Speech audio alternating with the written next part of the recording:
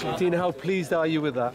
Yeah, very pleased. Obviously, uh, we had a reaction from the weekend, and uh, obviously the guy tonight. That was that's a, it's a hard place to come. There's not many teams that can come in and get three points. Um, I think that's a only the fourth time they've lost here in three years. So I was told before the game. So obviously, well, obviously three times before the game. So obviously, two man in there that change it, and lads are outstanding.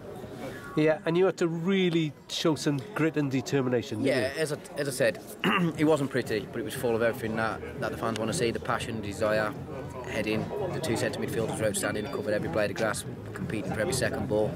Uh, Every, everybody put a shift into it. Manny Smith is a big character in every way, isn't he? Yeah, he's, uh, he's, he's laid back, he's very quiet, uh, he's not the mo- most vocal in the changing room, but he, he leads by example, and he, he leads by example on the pitch.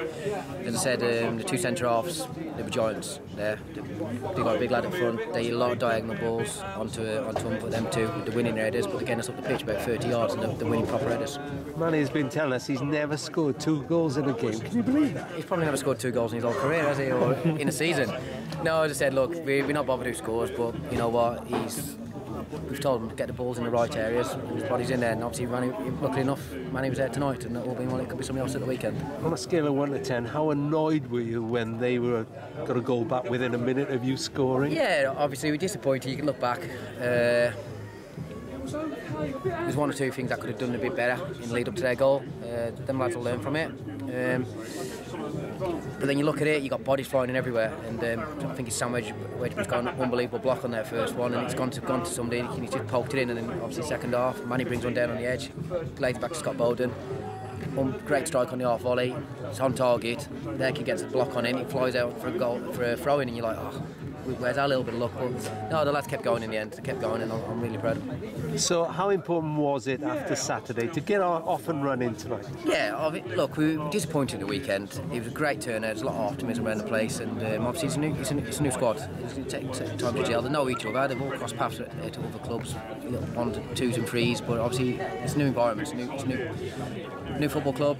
There's a big expectation here. Obviously, to come at the weekend, over 6,000 fans, and you know, over 350 tonight. That, that's Friday, and uh, to come all the way down here on a Tuesday night, I'm, um, I'm pleased that the lads have all sent them home happy. And in good shape for Dover now on Saturday? Yeah, um, yeah, definitely. Um, obviously, got Chris Holroyd. He's going to be out for a few weeks. Um, I'm hopeful that we can get something in before the weekend. But um, as I said, the, uh, the lads will be proud of themselves tonight and the performance they put on the pitch for the. Club. Has for the this fans. bought you any time, but you still hope to get somebody in? How close are you? We're not close as I want to be, if I'm honest. We got options. I got options. If we want to go and do a loan, I'd like to do a permanent.